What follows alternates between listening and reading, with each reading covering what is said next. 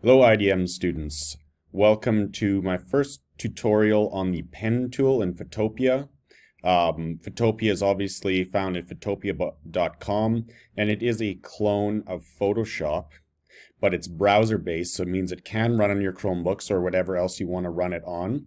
It's obviously not as powerful or quite as um, seamless or smooth as Photoshop, but it will get the job done while you're working at home during your at-home learning periods. Now what I've done is I've gone to File, Open, and I've actually opened a series of exercises you're going to be working on in the pen tool. Starting with exercise number one, remember you can just click on these to move between them.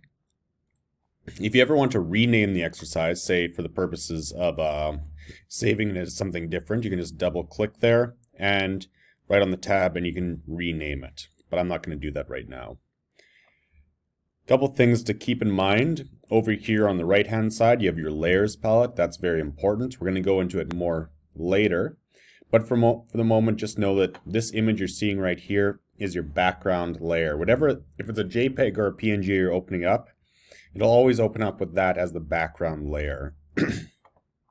now, pen tool. Pen tool's found on the left hand side in your toolbar. Its hotkey is P if you click on it, there are a couple settings you need to um, make sure you've filled out in order for this exercise to start properly. Number one, make sure that you have shape selected. Number two, make sure your fill is set to empty, which is this one right here, or none. And make sure your stroke is set to a color. In this case, I'm going to choose red. I'm going to set my stroke width to about five points. Now, as always, the first and most important part of using any program like Photoshop or Photopea or any of the other Adobe products is knowing some of the basic navigation hotkeys. The first one is spacebar. Notice when I press spacebar, my cursor turns into a little hand tool. At the moment I'm zoomed out, so I can't do much with it, but I'm going to show you what happens when I zoom in. Now to zoom in, I hold down spacebar with my pointer finger and then use my middle finger to hit the command key and hold that down as well.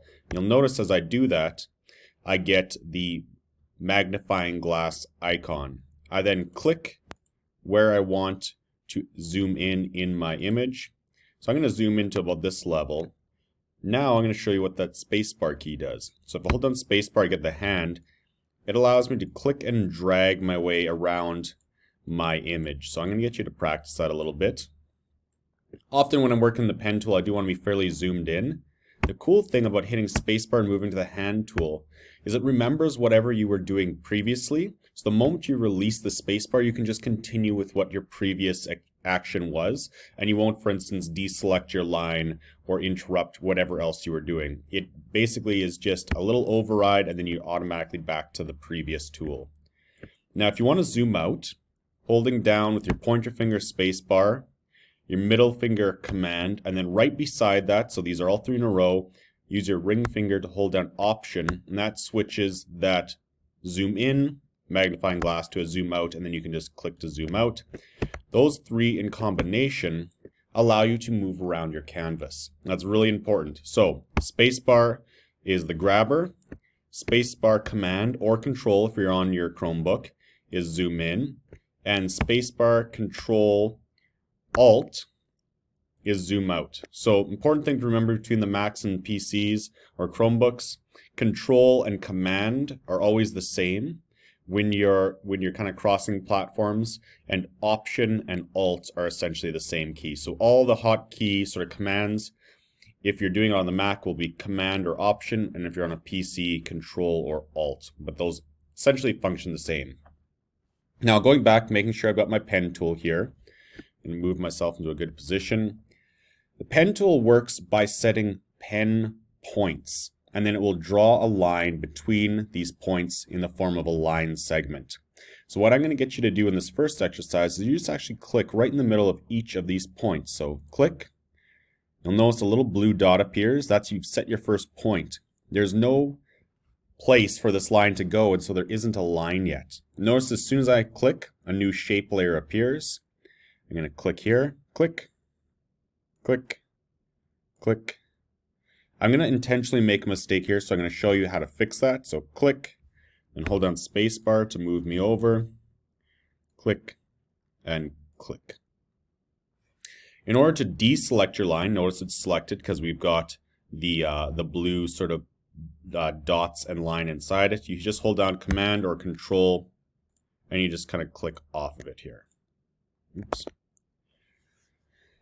Now, I've made a mistake here. In order to fix that mistake, what I need to do is I need to go right underneath the pen tool and I need to click and hold, then select the direct selection tool. You'll be using this one a lot. It's the white arrow. Select it, and I can click on my line. Oh, making sure I am on that layer. So make sure if you've accidentally created a new layer, garbage it. Make sure you're on the layer of that uh, line you made. That is important because if you click off it, you can't see it. So make sure you're in shape 1. Select the node or the, the vector point. Click. And you can actually just drag it down to the correct position. So if you ever need to adjust these lines, you can always click on the points and move them around.